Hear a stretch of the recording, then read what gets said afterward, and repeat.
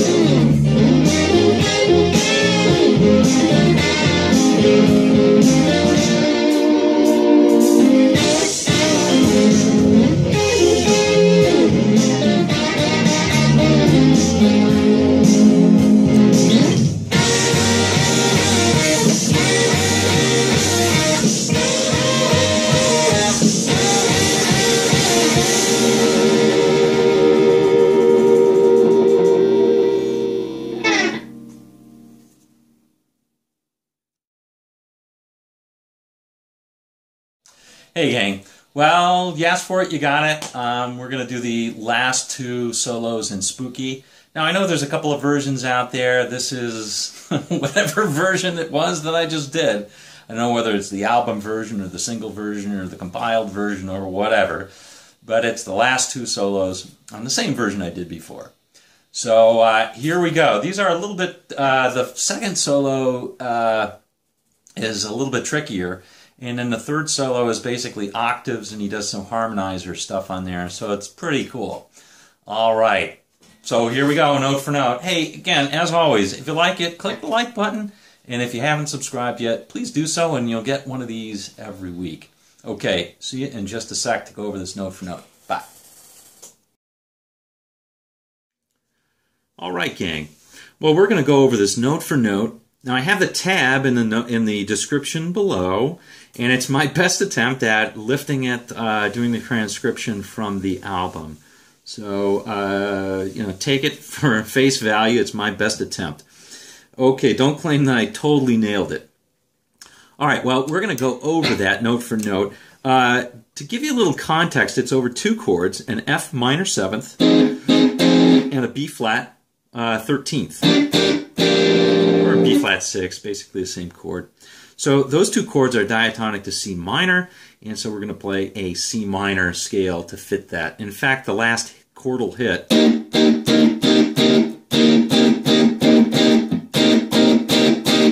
is a C minor seventh, so it kind of makes sense. Another way of thinking of it is an E flat major. Those are both the same.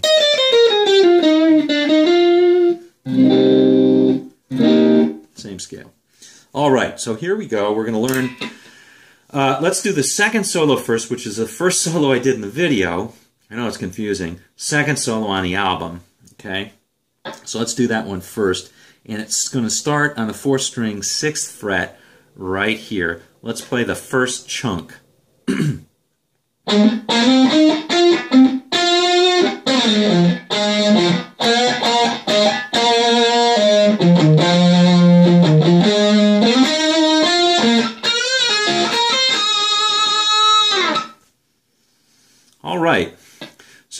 uh, you've got the, the tab in front of you, so I'm not going to spend a lot of time on that, but you want to be palm muting on some of those lower strings.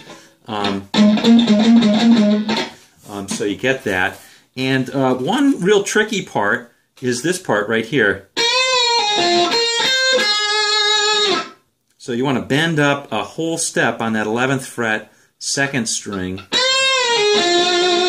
and pull off and play the 10th fret on the third.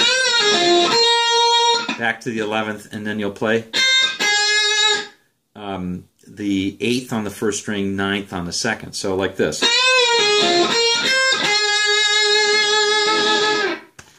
That's kind of hard to pull off um, because uh, to do the whole thing, like the pull off and hit on the ninth on or the 10th on the third, that's kind of tough to then hit this eighth. You have to be pretty quick about it. An easier way to play that is simply to omit the third string 10th fret and play this. And it sounds about the same. So instead of pulling off and playing the 10th, you just play this. That works just fine. Okay, so that's the first chunk. All right, here's the second chunk.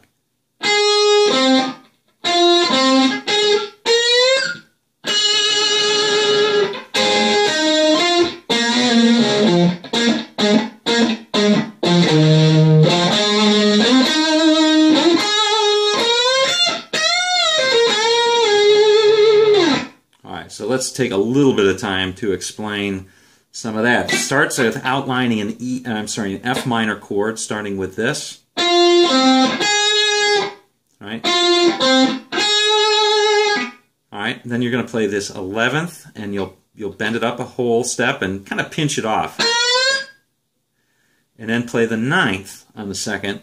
And you want to try and get a pinch harmonic if you can. No, I can't. There we go. Uh, get a pinch harmonic. There's tons of pinch harmonics in this in this song. Uh, I don't know how many were intended, but clearly he intended a lot of them. So that's the second one. All right, now this is an interesting thing, and I'm not sure I nailed this, but here I'm playing a double stop. Um, this double stop right here, second string, ninth fret, first string, eighth fret, and then uh, play the eighth on the third and tenth on the third. A little bit of a bend on the fourth. Pull off and play the tenth, the uh, the the eighth on the fifth.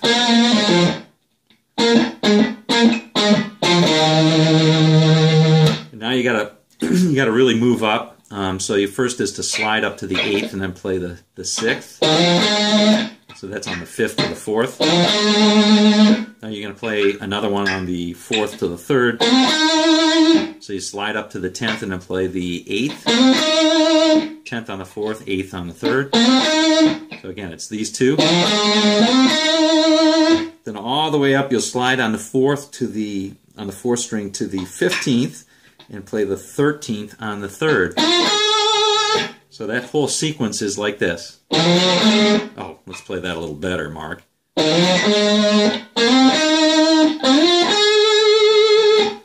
All right, so play that very deliberately. Look at the tab, and I think you'll get it. It's 8-6, 8-6 on the 5th, 10-8 on the 4th, and 15-13 on the 4th and 3rd. There we go. Okay. Now we're going to play this. So that's a pretty standard bend. You're bending up on the 15th on the third string, and then you're going to play the 13th on the first string. The next one's pretty cool. It's this right here. So this kind of reminds me of how Carlton would play, Larry Carlton. So we're going to bend up. Uh, first, it starts out with sort of typical blues lick. We're playing on the second string, 16th, out of the pentatonic position, on the uh, the F minor pentatonic position. So standard blues box position. All right, and so we're going to bend up on that 16 and bring it down and pull it off to the 13th. And then we'll quickly play the 15th on the third string.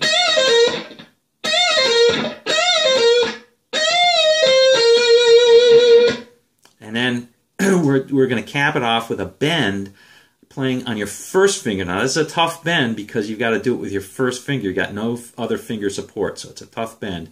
Bend up a whole step with that on the 13th to the 15th and bring it down.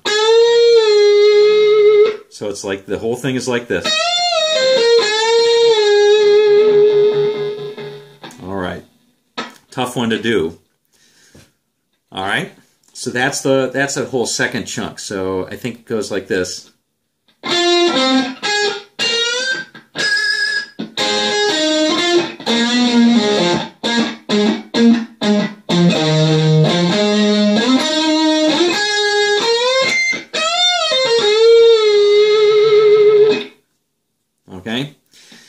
Here's the next part. and this isn't tricky, but the timing is tricky. Um, so it starts out by just a simple. Here, well, I'll just play. Here's the next part. We'll do the whole chunk.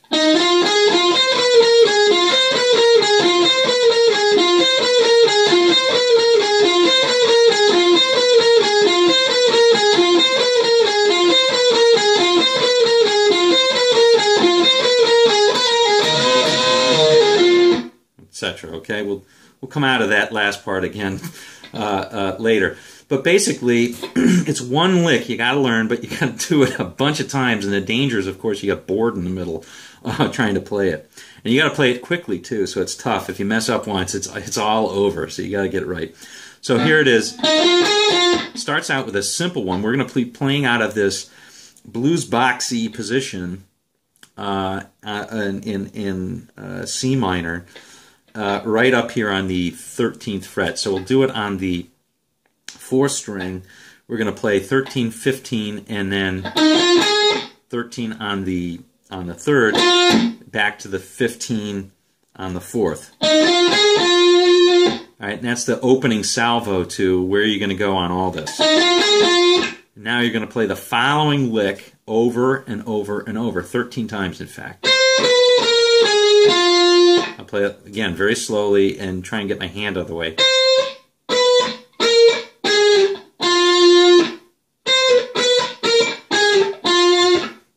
Okay, over and over.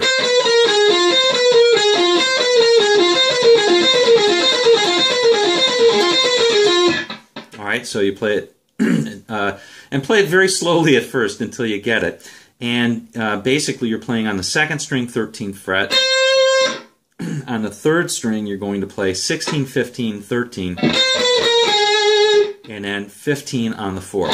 And then you'll skip the string and go back up to the 13th on the first. And you do that over and over.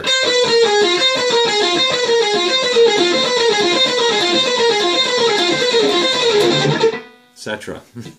and drive yourself batty doing that. Okay, so you do that about 13 times. On the last time, you come out of it by playing this.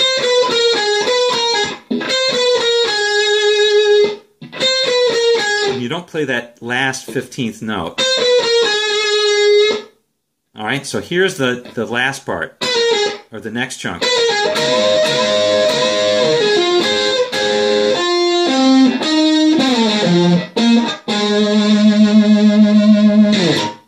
Okay, so um, the last time you come through this, you play.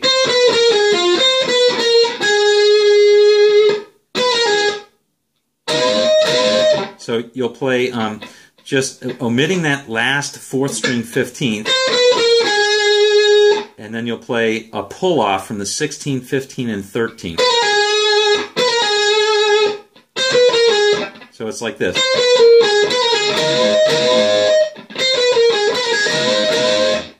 Okay, so that note right there is a double stop where you're playing the 16th on the second, 13th, uh, sorry, 15th on the third, and you're bending up the 15th a whole step to play that uh, twice. And third time you're playing it and pulling it off to the 13th and playing the 15th on the 14th on the fourth string.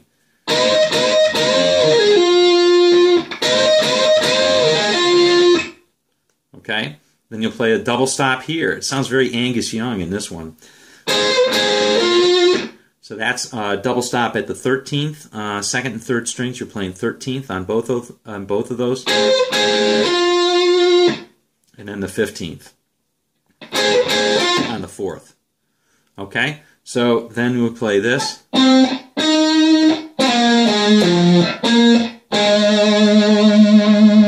So that's just simply on the fifth string, you're playing the 15th, 13th on the fourth, and then you're playing 15th, sliding down to 13th, and playing the 11th.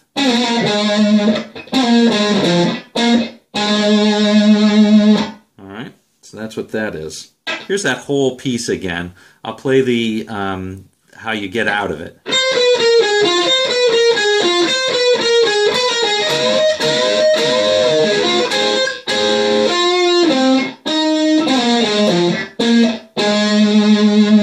One more time.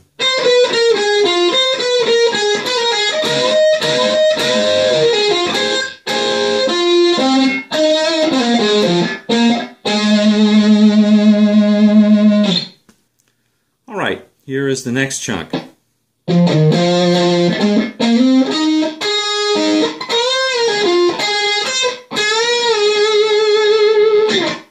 right, one more time, kind of slowly. I don't think there's anything tricky there.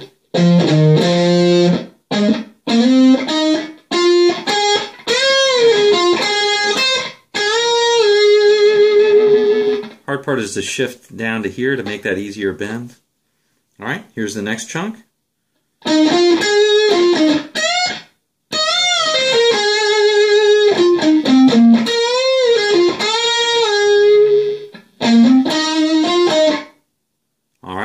The hard part on that one is pretty simple. Is uh, as you're doing this, is almost identical lick as before,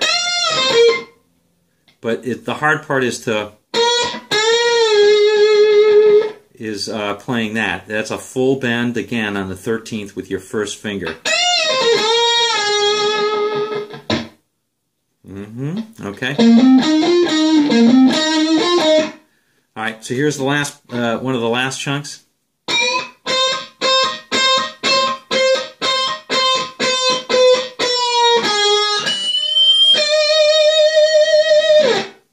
Right. So what you're going to do here is you're going to pull up on the 15th on the third fret, a whole step, and then this is during the break where there's no chord, and you're just going to kind of anemically bring it slowly, slowly down until you get to the 15th. All right, so you, you bring it up a whole step and just slowly down.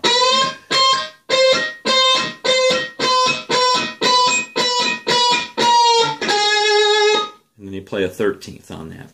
Okay, and then finally uh, on the, the bends there, you're going to play the, the 15th on the second string and bend up just a half step. Second time you want to give it vibrato. All right, here's the last piece.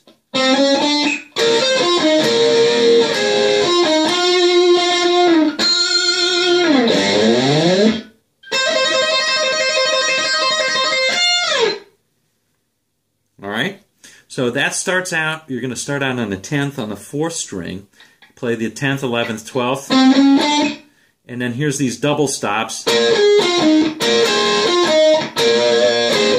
you're playing the 15th, 15th on the 2nd and 3rd strings, 13th, 13th on the 2nd and 3rd strings. So it sounds like this.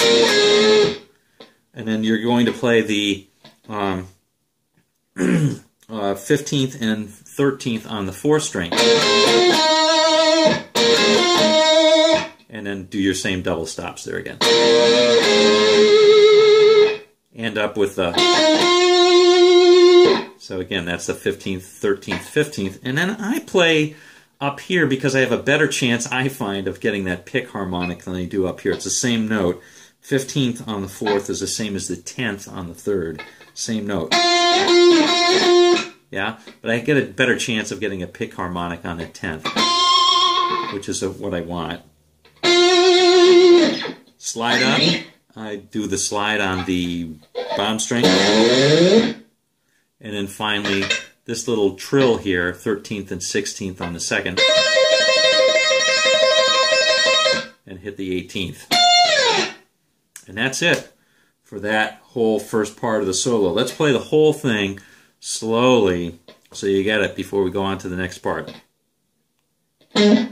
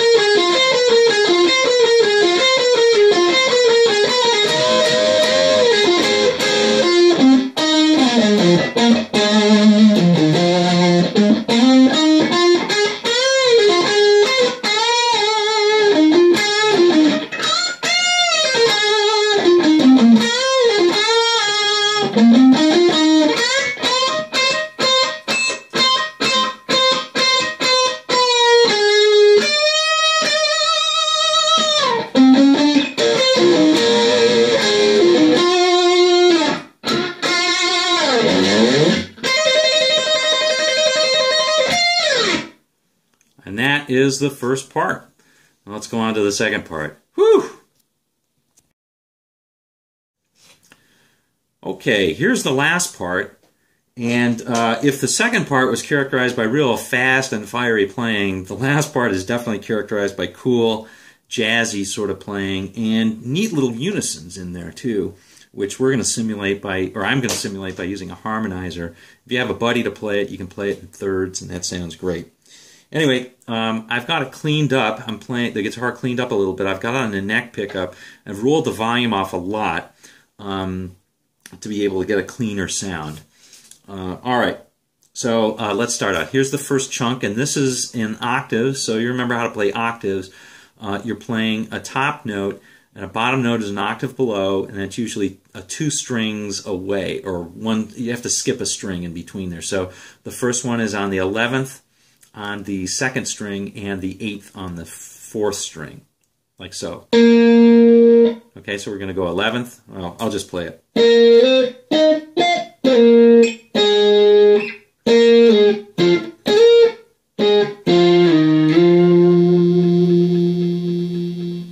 Alright. Uh, one more time. Here it is very slowly.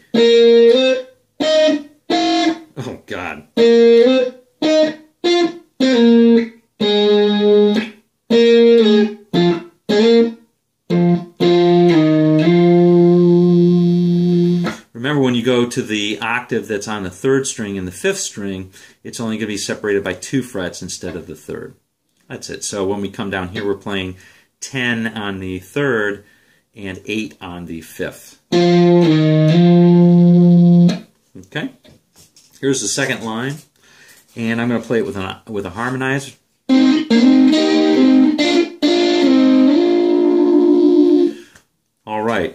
So um, let me take off the harmonizer a little bit and I'll play it again. So what the harmonizer does, I've got that set on D sharp, the harmonizer on D sharp, which remember is the same as E flat. Um, and I've got it a third up. So uh, if you harmonize a third up, that's going to work. So if you're playing if you're playing with a buddy, you play this note, and the buddy is going to play uh, two notes above that in the scale of D sharp or E flat uh, major. So he would play this. All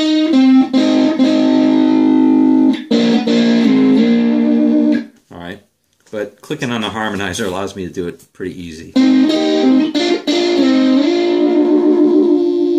Okay, that's the second line. Here's the third line.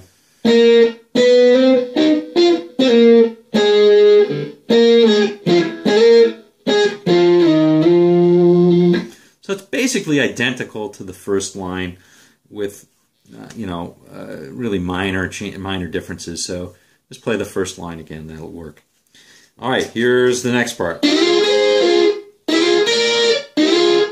Oh, let's try that again. Here's the here's the next part. Okay, so this is just take off the harmonizer again. Um, so again, this is a harmonized line, but we're going to slide up to the tenth on the third string. Okay? All right, so here's the next part.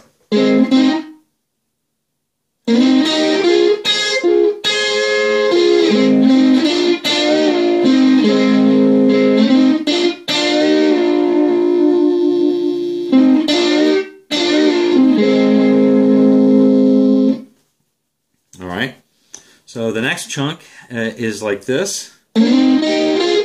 Let's let's take off the harmonizer for a second. It is a harmonized line, same harmonization. So you'll slide up uh, to the fourth, uh, I'm sorry, fourth string, tenth fret to start out.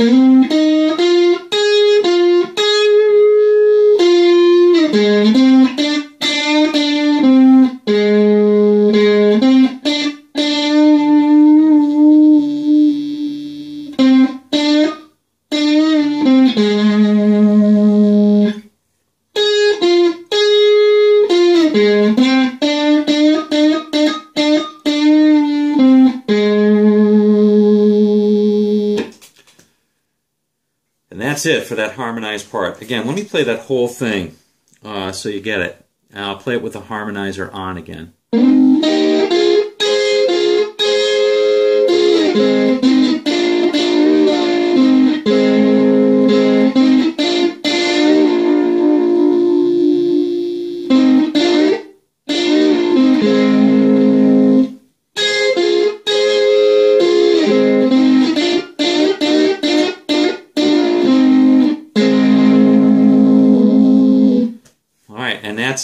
You can follow along on the tab and just play the regular tab. If you, It sounds fine without harmonizing it too.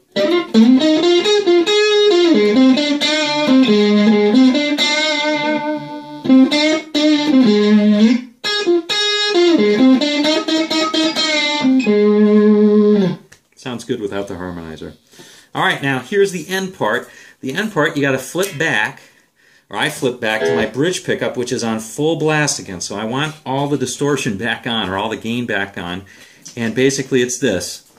I, I, you got to turn off the harmonizer for this.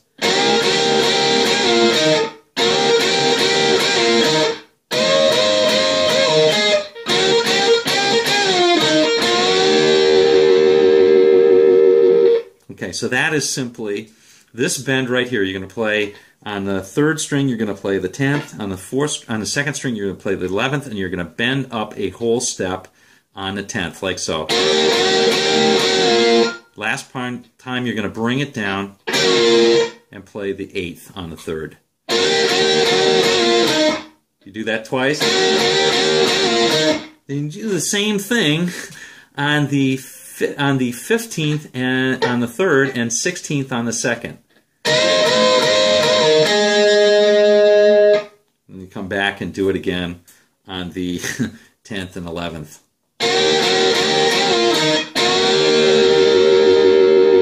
And end by hanging on this 10th uh, bent up with the 11th.